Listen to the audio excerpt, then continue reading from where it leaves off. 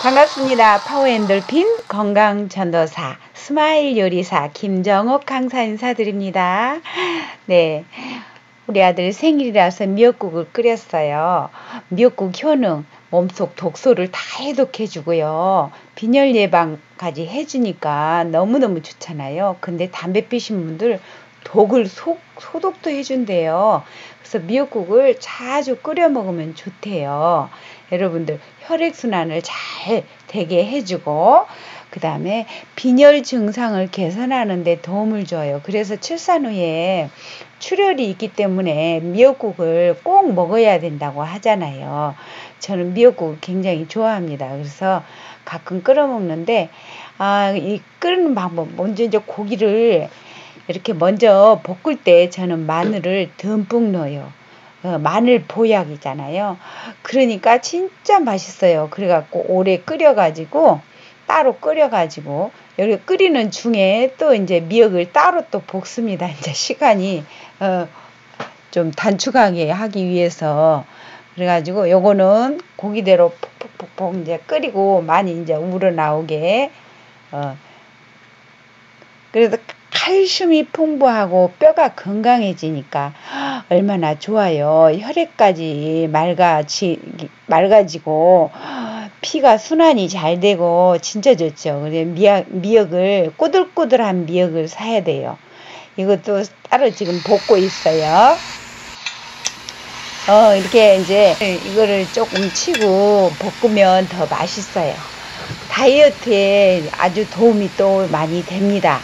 칼로리가 아주 적기 때문에 어, 그래서 살찌는 거 싫어하시는 분들 미역국 자주 드세요.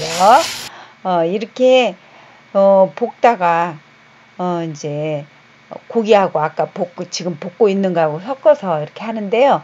아이들에게 성장 바르게 아주 도움을 줘요.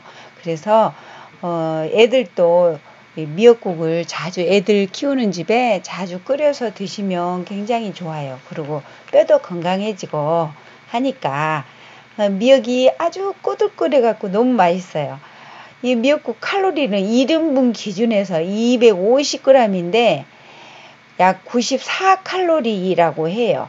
그래서 100칼로리가 안 되죠. 다이어트에 아주 도움이 많이 됩니다. 그래서 안심하셔도 될 것 같습니다. 여러분 많이 드셔도 그러니까 아 살찔까봐 많이 안 드시면 저는요 막 냉면 대접으로 하나씩 먹으죠. 그렇게 많이 먹어요. 어, 그 정말 많이 먹는데도 살이 왜 안 찌냐고 그러는데 박장대소 웃음 운동을 많이 하니까 살이 절대 찔 수가 없죠. 전 미역국뿐만이 아니고 다른 것도 다 많이 먹어요. 이렇게 따로 양쪽에서 막 볶아가지고 그래가지고 이제 섞는 거예요. 그래가지고 마늘을 제가 듬뿍 넣는다 했죠. 여러분들보다 더블로 더 많이 넣어요. 그러니까 진짜 맛있더라고요. 그러면서 이제 오래 끓여 가지고 물을 이제 국물을 반 정도만 채우고 한참 두 개 같이 합해서 끓이다가 한 뭐 5분, 10분 끓이다가 어, 그, 그 이후에 이제 또 물을 더 채워 넣어요. 이렇게. 아, 맛있겠다. 그러면 아주 진한 맛이 이제 물을 이제 더 이제 넣잖아요. 넣어가지고 이제 푹푹푹푹 이제 한 3, 4분 또 더 끓여가지고 먹으면 아주 기가 막히게 맛있어요. 파는 왜 안 넣을까요? 미역국에. 파를 넣으면은요, 그, 궁합이 안 맞대요. 그래서 파를 넣으면 안 돼요. 마늘은 많이 넣어도 많이 넣으면 넣을수록 좋아요. 적당하게 넣는데 이제 좀 넉넉하게 넣으시면 좋아요. 그래서 미역국을 자주 끓여 드시면 혈액순환 잘 되고 뼈가 건강해지고 오, 몸이 튼튼 그리고 이 참외 있잖아요. 식초물에다가 한 10분 담궈서 깨끗이 씻어서 꼭 깎지 말고 드세요. 여러분 깎고 드신 분들은 꼭 깎고 드시더라고요. 이 습관을 바꿔야 돼. 그래서 제가 개몽 운동을 합니다.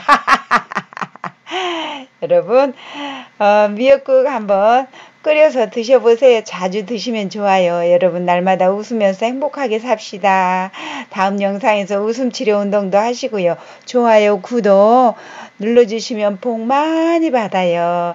건강복이 들어오고 그냥 행운복이 막 물질복이 대박으로 들어옵니다. 여러분 우리 행복하게 삽시다. 웃으며 삽시다. 사랑합니다. 고맙습니다. 축복합니다.